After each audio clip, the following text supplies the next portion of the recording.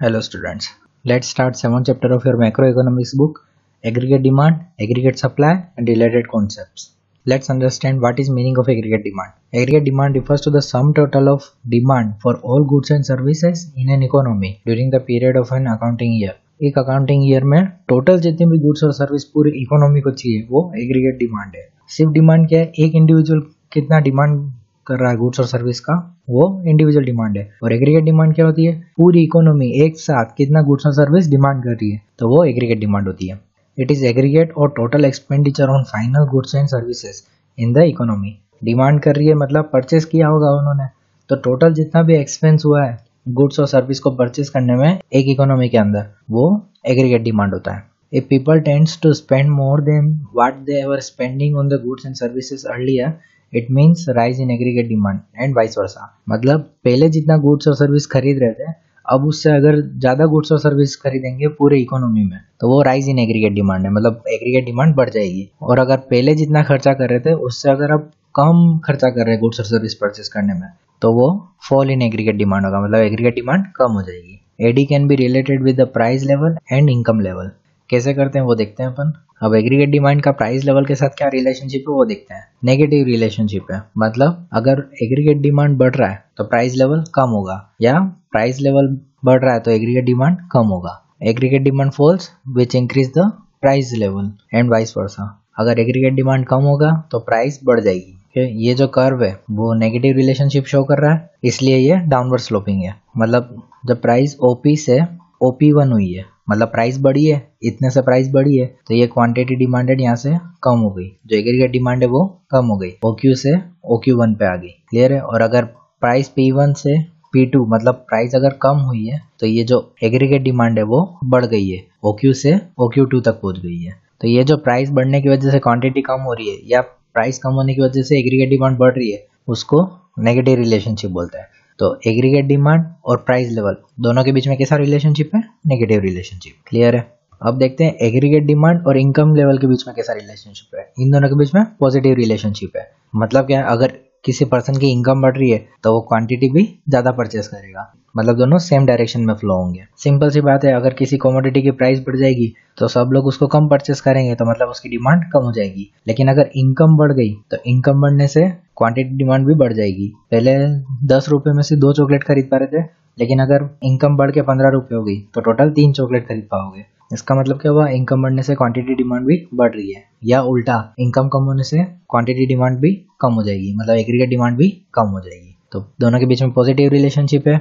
मतलब अगर इनकम बढ़ रही है तो एग्रीगेट डिमांड भी बढ़ जाएगी। और ये पॉजिटिव स्लोप है, इसलिए अपवर्ड स्लोपिंग है। ये ऊपर की तरफ़ जा रहा है मतलब ये अपवर्ड स्लोपिंग है। क्लियर है? जब इनकम ओ वाई से ओ वाई वन हो गई मतलब बढ़ गई तो एग्रीगेट डिमांड ओ क्यू से ओ क्यू वन हो गई। और जब ओ वाई से ओ वाई टू हुई तो एग्रीगेट डिमांड ओ क्यू से ओ क्यू टू हो गई मतलब कम हो गई। तो ये जो अपवर्ड स्लोप है वो पॉजिटिव रिलेशनशिप बता रहा है। समझ में आ गया? कंपोनेंट्स क्या है? एग्रीगेट डिमांड के?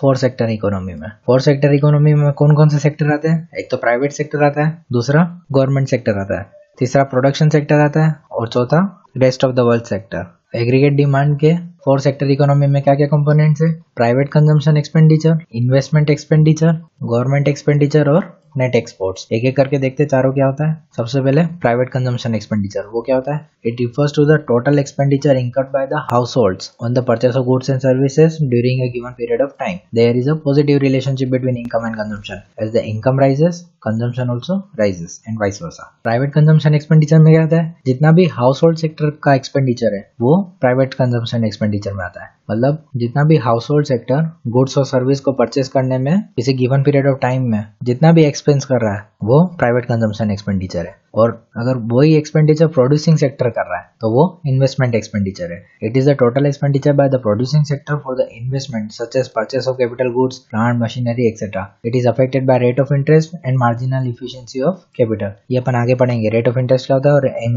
क्या होता है। There is a negative relationship between rate of interest and investment demanded मतलब मतलब प्रोडक्शन सेक्टर जितना भी कैपिटल गुड्स पे और बाकी एसेट्स पे जितना भी इन्वेस्टमेंट कर रहा है, वो इन्वेस्टमेंट एक्सपेंडिचर है। और इन्वेस्टमेंट एक्सपेंडिचर किससे अफेक्ट होता है? रेट ऑफ़ इंटरेस्ट हो एम ई आई से। ये अपन आगे पढ़ेंगे। और क्या क्या कंपोनेंट है? Government expenditure it is total expenditure incur by the government on purchase of goods and services in domestic market by the government compensation of employees direct purchase from abroad by the government embassies and consulates located abroad minus sale of goods and services produce by the government government expenditure कैसे निकालते हैं? जितना भी total expenditure government कर रही है, किस पे? डोमेस्टिक मार्केट से गुड्स और सर्विस परचेज करने में, या कंपनसेशन ऑफ़ एम्प्लॉज को पे करती है, वो, या फिर कोई भी अगर डायरेक्ट परचेस कर रही है बाहर से फॉरेन से तो उस पे एक्सपेंडिचर ये टोटल एक्सपेंडिचर में से जब sale of goods and services produce by the government मतलब ऐसे गुड्स और सर्विसेज़ जो गवर्नमेंट प्रोड्यूस कर रही है और सेल कर रही है, उसका अमाउंट माइनस कर देंगे। तो ये जो डिफरेंस का अमाउंट आएगा, वो गवर्नमेंट एक्सपेंडिचर है। और नेट एक्सपोर्ट्स क्या है?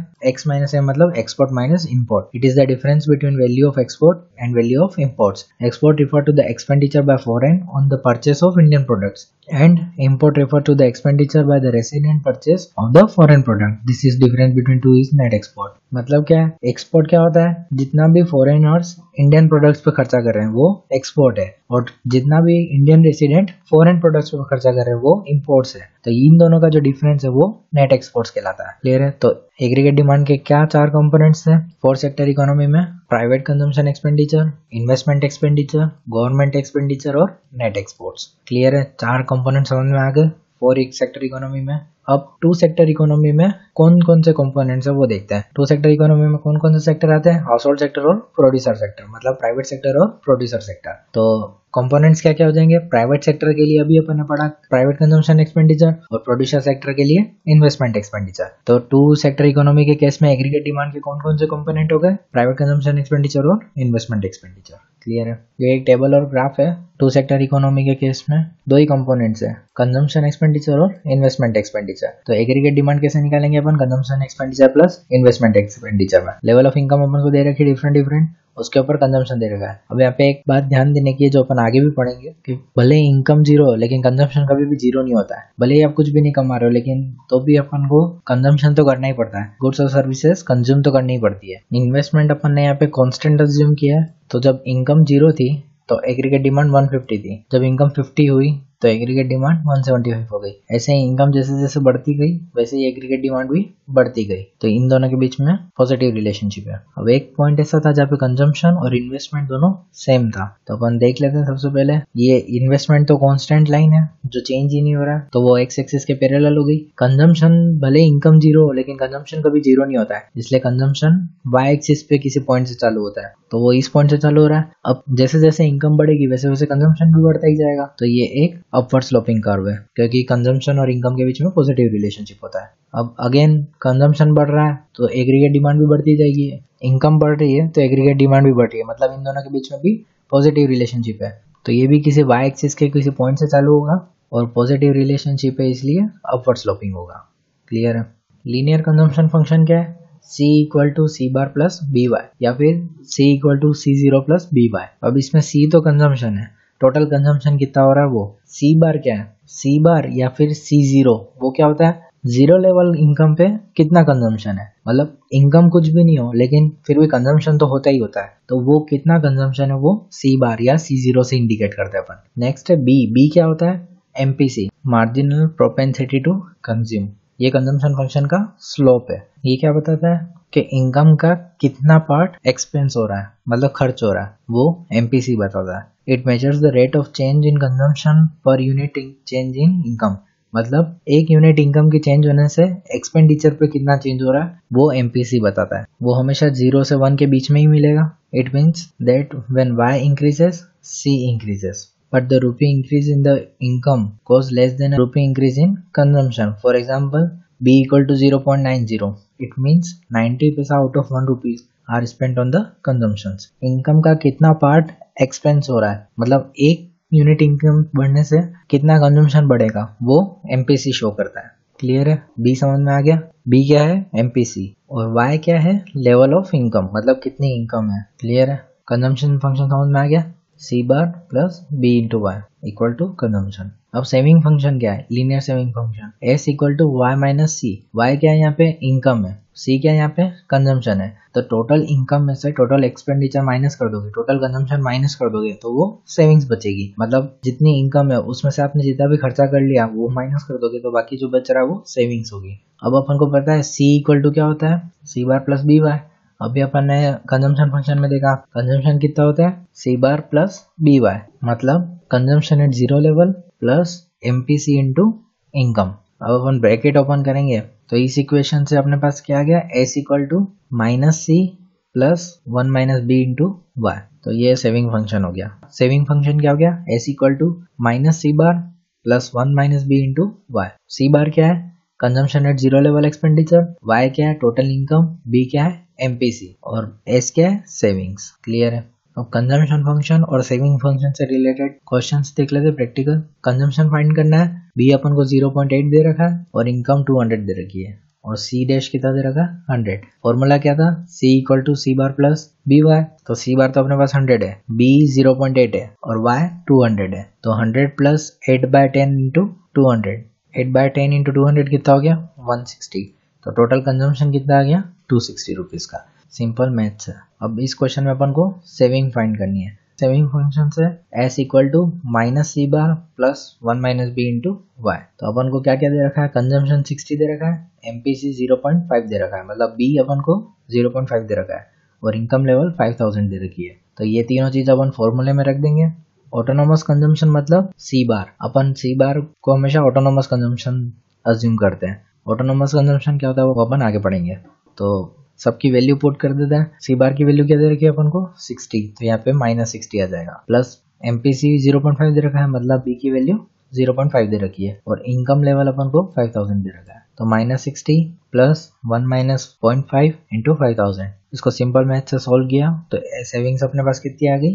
Two thousand four hundred forty clear है? एग्रीगेट डिमांड पढ़ने के बाद अपन एग्रीगेट सप्लाई क्या होता है वो समझते हैं? It is the total flow of goods और services in an economy during a period of one year मतलब एक साल के अंदर कितना गुड्स और सर्विस इकोनॉमी के अंदर फ्लो हो रहा है, वो एग्रीगेट सप्लाई है। एग्रीगेट सप्लाई के कंपोनेंट्स क्या है? Y equal to C plus S मतलब कंजम्पशन एक्सपेंडिचर प्लस सेविंग वो एग्रीगेट सप्लाई है। क्लियर है। कंजम्पशन में अगर सेविंग्स प्लस कर दे तो वो एग्रीगेट सप्लाई होती है। अब कंजम्पशन प्लस सेविंग तो इनकम भी होती है। तो इनकम और एग्रीगेट सप्लाई सेम चीज़ है। दो ही कंपोनेंट है एग्रीगेट सप्लाई के।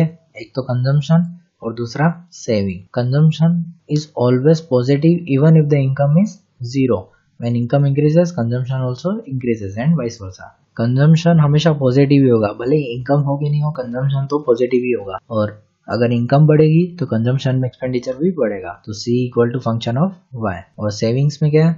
सेविंग होता है क्या? है इनकम माइनस कंजम्पशन तो saving increases with the increase in income and vice versa again वही इनकम बढ़ेगी तो सेविंग भी बढ़ेगी, और अगर इनकम कम होगी तो सेविंग भी कम होगी। तो saving equal to function of Y saving और इनकम के बीच में कैसा रिलेशनशिप है? पॉजिटिव रिलेशनशिप मतलब जब इनकम लेवल लो होगा तो सेविंग नेगेटिव हो सकती है, क्योंकि तब कंजम्पशन इनकम से बड़ा होता है। जब कंजम्पशन और इनकम बराबर होंगे तो सेविंग्स ज़ीरो हो जाएगी। और जब इनकम कंजम्पशन से ज़्यादा होने लगेगी तो सेविंग पॉजिटिव होगी। सीधी सी बात है, अगर इनकम से भी ज़्यादा कंजम्पशन है तो सेविंग्स नेगेटिव होगी। अगर कंजम्पशन और इनकम बराबर है तो सेविंग्स ज़ीरो होगी।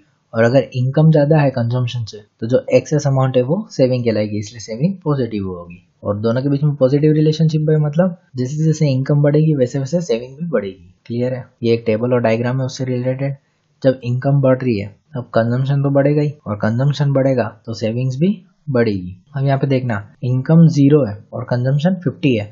मतलब इनकम से ज़्यादा कंजम्पशन है तो सेविंग नेगेटिव है। अब इस पॉइंट पे इनकम और कंजम्पशन दोनों सेम है तो सेविंग्स ज़ीरो हो गई। और जैसे ही इनकम कंजम्पशन से ज़्यादा हुई तो सेविंग पॉजिटिव हो गई। यही अपन ने अभी रिलेशनशिप में पढ़ा। और पॉजिटिव रिलेशनशिप में मतलब इनकम जैसे जैसे बढ़ रही है, वैसे ही सेविंग भी बढ़ते जा रही है। समझ में आया?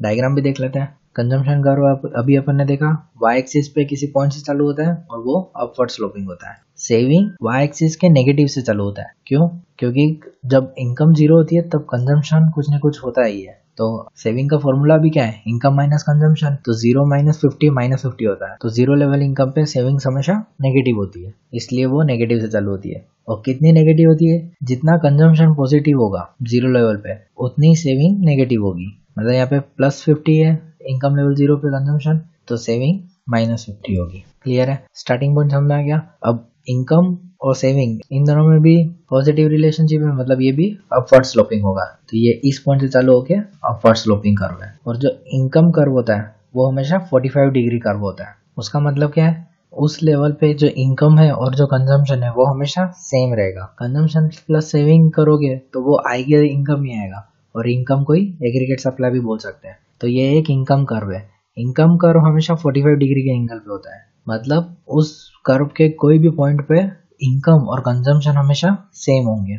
जैसे इस पॉइंट पे देखें, इस पॉइंट पे कंजम्पशन 300 का है और इनकम भी 300 की है। इस पॉइंट पे कंजम्पशन 400 का है और इनकम भी 400 की है। क्लियर है? तो इनकम कर्व के किसी भी पॉइंट पे कंजम्पशन और इनकम सेम होगी। समझ में आ गया? नेक्स्ट लेक्चर में एग्रीगेट डिमांड और एग्रीगेट सप्लाई से रिलेटेड कुछ और कॉन्सेप्ट पढ़ेंगे। Thank you